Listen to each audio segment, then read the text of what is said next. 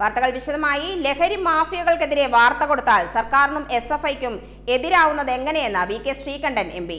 ഏഷ്യാനെറ്റിനെതിരായ ആക്രമണം മാസങ്ങൾക്ക് മുമ്പേ തയ്യാറാക്കപ്പെട്ടതാണെന്നും V K Sreekandan M P പറഞ്ഞു. മാധ്യമവേട്ടയ്ക്കെതിരെ പ്രസ് ക്ലബ്ബ് സംഘടിപ്പിച്ച പ്രതിഷേധം ഉദ്ഘാടനം ചെയ്യുകയായിരുന്നു എം പി. ജനാധിപത്യത്തിന്റെ നാലാം തൂണായ മാധ്യമങ്ങളെ കൂച്ചുവിലങ്ങിടാൻ ശ്രമിക്കുകയാണ് കേന്ദ്ര സംസ്ഥാന സർക്കാരുകൾ. വാർത്ത നൽകിയ റിപ്പോർട്ടർക്കെതിരെ സി നേതാക്കൾ തന്നെ മോശമായ രീതിയിലാണ് അപവാദ പ്രചാരണം നടത്തുന്നത്. ഒരു ഭാഗത്ത് ലഹരിക്കെതിരെ ക്യാമ്പയിൻ നടത്തുന്ന സർക്കാർ മറുഭാഗത്ത് അതിനെ പ്രോത്സാഹിപ്പിക്കുകയാണ്. മാധ്യമങ്ങൾക്ക് നേരെ നടക്കുന്ന ഇത്തരം ആക്രമണങ്ങളെ ഒരു കാരണവശാലും അംഗീകരിക്കാൻ കഴിയില്ലെന്നും ശ്രീകണ്ഠൻ പറഞ്ഞു. ഏറെ വർഷങ്ങളായി സംഘടിതമായ ആസൂത്രിതമായ അക്രമങ്ങൾ മാധ്യമ മേഖലയ്ക്കെതിരായിട്ട് നടക്കുന്നുണ്ട്.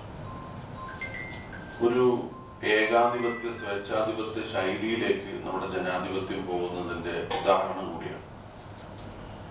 പക്ഷെ കേരളത്തിൽ ഒറ്റപ്പെട്ട അക്രമങ്ങൾ സമരസ്ഥലത്ത് അതുപോലെ തന്നെ കൂടുതൽ സംഘർഷമുള്ള സ്ഥലത്തൊക്കെ ഉണ്ടായിട്ടുണ്ടെങ്കിലും ഒരു ആസൂത്രിതമായ അതും ഭരണതലത്തിൽ തന്നെ ആസൂത്രിതമായിട്ടുള്ള അപൂർവം ഒരു അക്രമമാണ് ഏഷ്യാനെറ്റിനെതിരായിട്ട് നടന്നിരിക്കുന്നത്.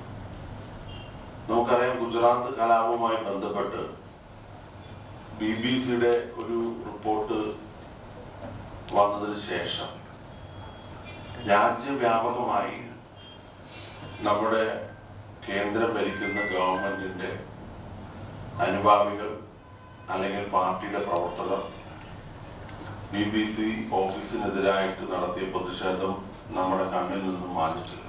Press club vice president Shanmughadas അധ്യക്ഷനായി. Secretary Madhusoodanan Kartha vice president P S Sija Nobel എന്നിവർ പ്രസംഗിച്ചു. U T V news Palakkad.